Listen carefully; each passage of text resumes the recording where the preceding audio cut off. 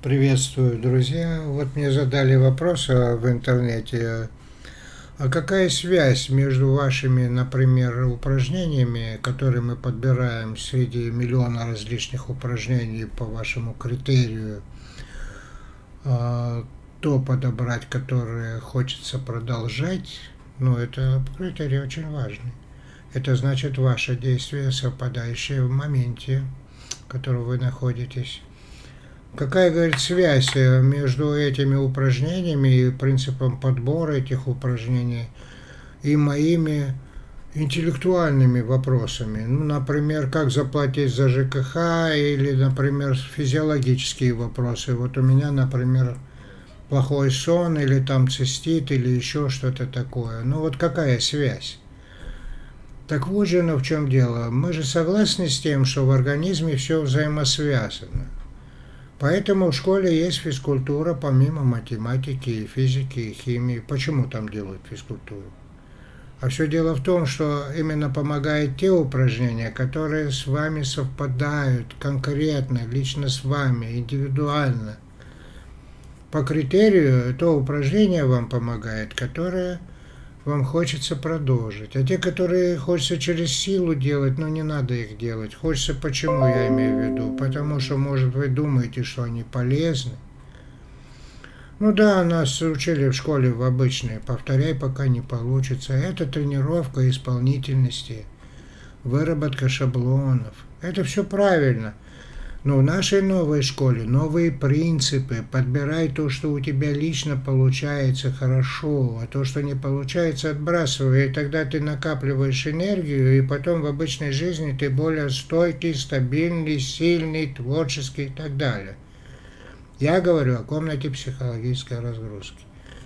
Итак, логическая связь между выбранными упражнениями по физкультуре – а сам процесс это синхрогимнастика называется, логическая связь между выбранными упражнениями по физкультуре по критерию «делай то, что хочется продолжать», отбрасывая то, что вам не подходит.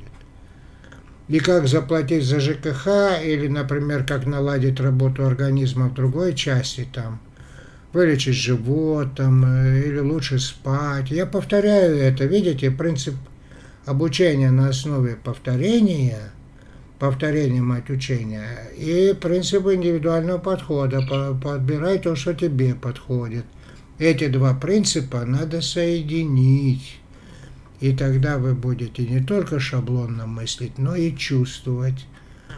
каждый следующий момент ощущать сами, что вам сейчас надо делать, как заплатить за ЖКХ, как наладить отношения в семье, как лучше спать.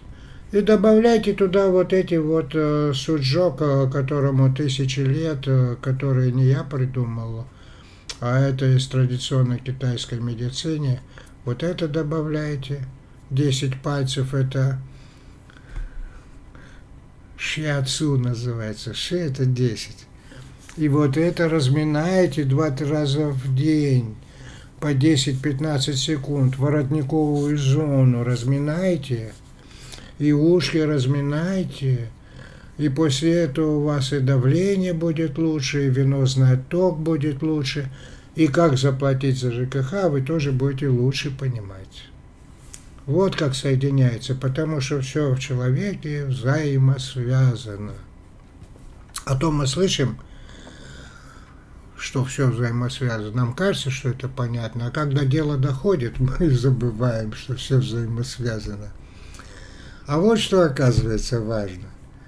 Лень, лень, это как раз-таки тот двигатель, который сделал человека, потому что когда вы ищете, как вам сделать что-то легче, вы развиваете творческие качества. А когда вы повторяете то, что вам трудно – пока не получится, вы развиваете качества исполнительские. Поэтому, когда кто-то там говорит в интернете, профессор там, я смотрел фамилию, не хочу называть, но он не врач, он биолог, ну, очень известный, он говорит, человек ленив. Конечно, он ленив. Потому что когда он делает дело, которое с ним не синхронизируется, ему и лень это делать. А поэтому и надо подбирать то, что тебе подходит.